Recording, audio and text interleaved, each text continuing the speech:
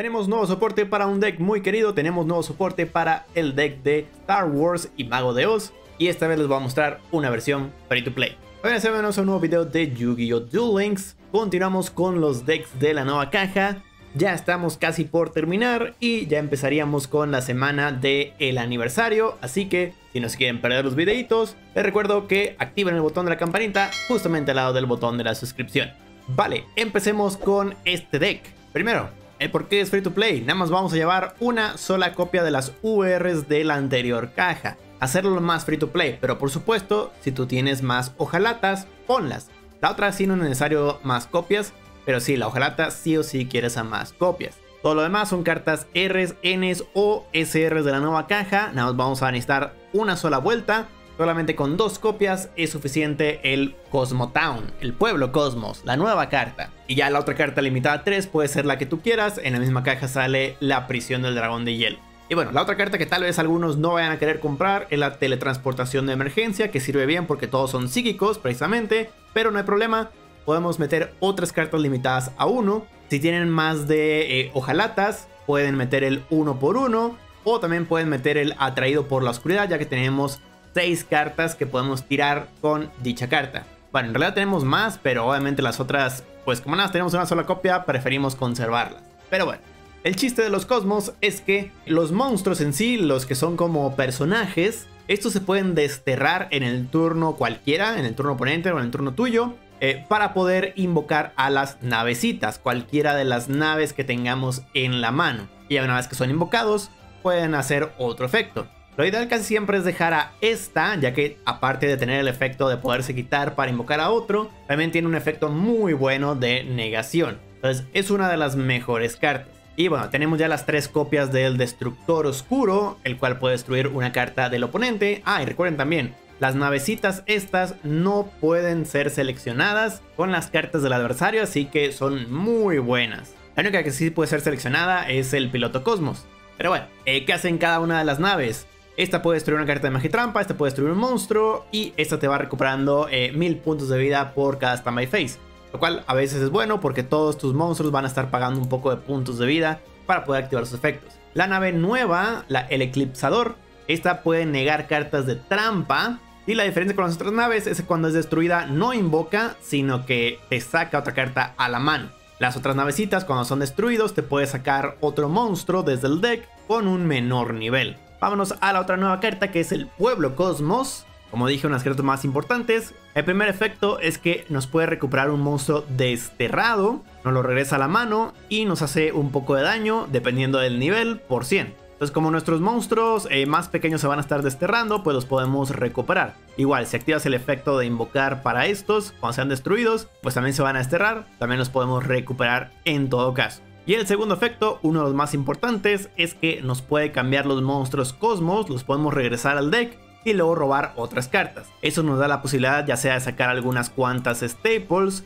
o quitarnos el break. Por ejemplo, si tenemos muchas naves, no hay problema, las regresamos, nos quedamos con la que más queramos y listo, sacamos otras cartas, a ver sacamos ahora sí los monstruos pequeños. Y bueno, las últimas cartas que sí les voy a recomendar son estas dos. Estas son las que no hacen free to play el deck, pero bueno, en caso de no tenerlas pueden poner otras staples o en todo caso más copias de la Cosmo Fuerza. Pero sí, esta principalmente, esta es de Soul Flare Lighting y esta nos puede revivir un monstruo desde el cementerio. ¿Por qué es importante? Porque como dije, cuando se invocan estos güeyes de manera especial, activan sus efectos y son muy buenos. Y como la hojalata siempre te muestra tres cartas y solamente va a agregar una de ellas, las demás se van al cementerio, esta cosa nos puede recuperar los monstruos que se fueron al cementerio precisamente. Pues por eso es que es la mejor. Y bueno, esta en caso de tenerla también es decente, nada más con una sola copia es suficiente. Esta creo que sale en Masters of Shadows, una mini caja muy antigua. Pues sí, esta hace lo mismo, nada más que invocando del destierro. Ninguna de las dos niega efectos, así que podemos activar los efectos de dichos monstruos. Y bueno, habilidad pueden usar la que ustedes deseen. Hemos estado probando muchas habilidades como las de nivel 5, ya que tenemos algunos niveles 5. Pero preferimos usar en el espacio profundo, ya que este nos permite sacar, bueno, después de 1000 puntos de vida, lo cual muchos de los monstruos pagan puntos de vida. nos permite sacar el planetario Pathfinder y ya con eso sacamos nuestro Cosmo Town. Ya con eso es mucho más viable. Pero también pueden usar eh, la habilidad de cambios, la cual también cuando haces mil puntos de vida puedes cambiar una carta por otra. Todo lo que ustedes deseen. Y por último, el último comentario es acerca del extra deck. Aquí la verdad es que pueden usar lo que ustedes deseen. O también, como estuvimos probando en directo, el Ancamufrito, nada más quitando todo el extra deck puede meter esta al deck, al cabo que esto va a reducir su deck básicamente. Vas a tener un poco más de aceleración. Y si meten esto junto con esta habilidad, yo creo que incluso podrían dejar una sola copia de Cosmotown.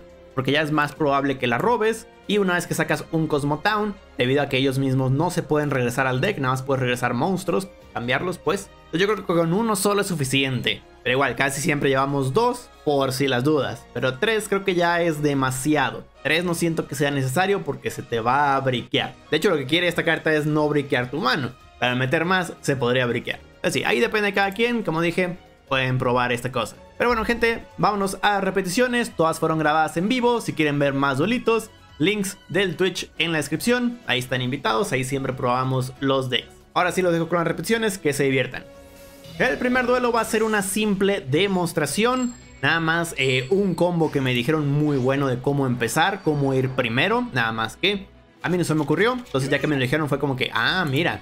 Entonces una mano en la que tengas un monstruo pequeño que puedas invocar de manera normal. El Destructor y el Cosmotown. Puedes hacer una jugada muy buena. De hecho aquí yo nada más invoqué y pasé.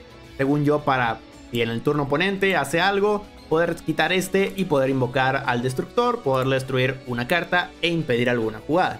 Pero lo que podemos haber hecho es invocar al destructor, el destructor se destruía a sí mismo y con eso puede sacar a otro monstruo de menos nivel. Podríamos sacar a la bruja. Ya saben que la bruja, igual que cualquier otro monstruo pequeño, puede cambiar de monstruos también, aparte de negar. Es la más importante. Ya luego activábamos el Cosmo Town y recuperábamos al destructor precisamente para tener esa opción. Entonces, básicamente hubiéramos tenido exactamente lo mismo que ahorita, nada más que con una negación extra. Vale, les dejo el dolito, pero la verdad es que no es la gran cosa.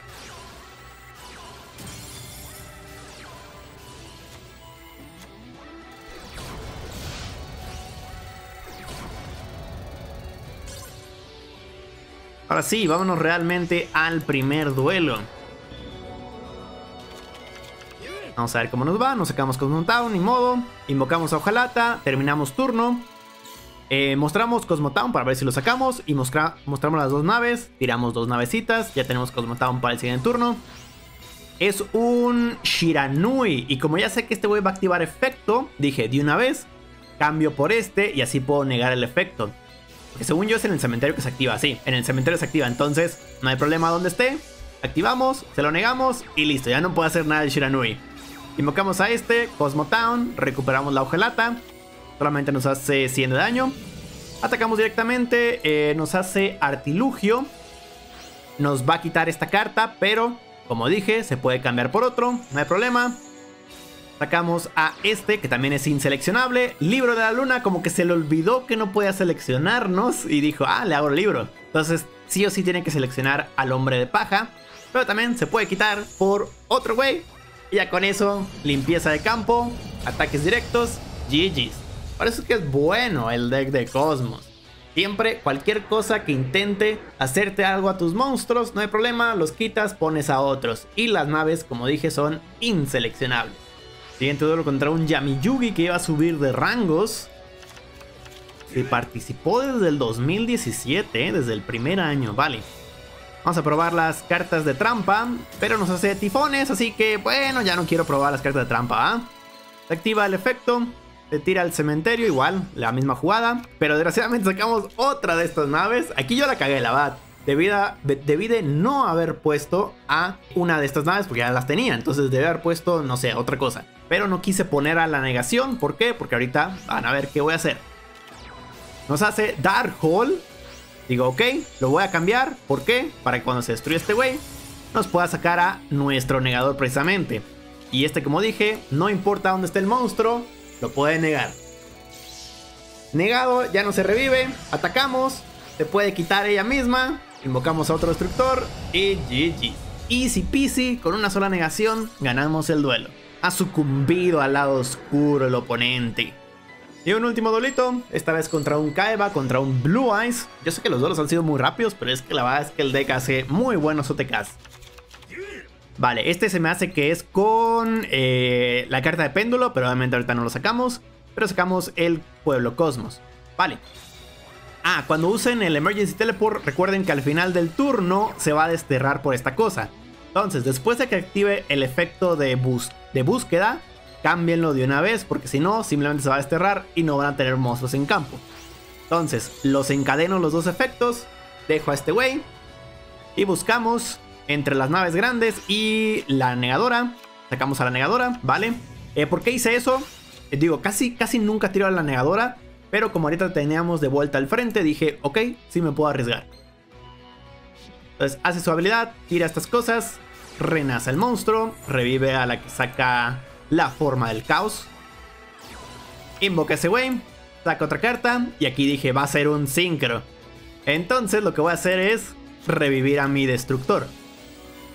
Revive el destructor, destruimos esta cosa, ya no puede hacer sincro, ya no puede hacer jugada. Y ahora sí, Osmo Town, recuperamos el monstruo.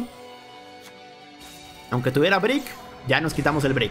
Hacemos 3000, atacamos directamente, Drowning Mirror Force. Y todo está en modo ataque, por lo tanto, lo único que puedo hacer es cambiar este wey por un monstruo en modo defensa.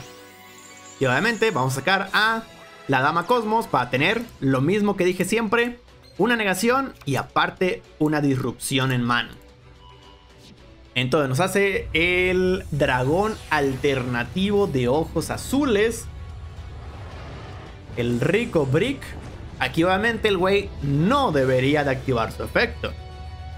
Porque si no, solamente me lo voy a echar.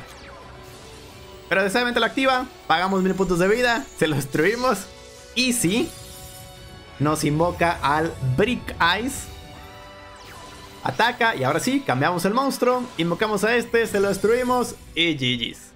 Y sí, y es que Kaiba, yo soy tu padre. Pues bueno gente, ese es el deck de Cosmos. Espero se hayan divertido tanto como yo. Como dije, si quieren ver más dolitos, links del Twitch en la descripción. Y bueno, conclusiones del deck.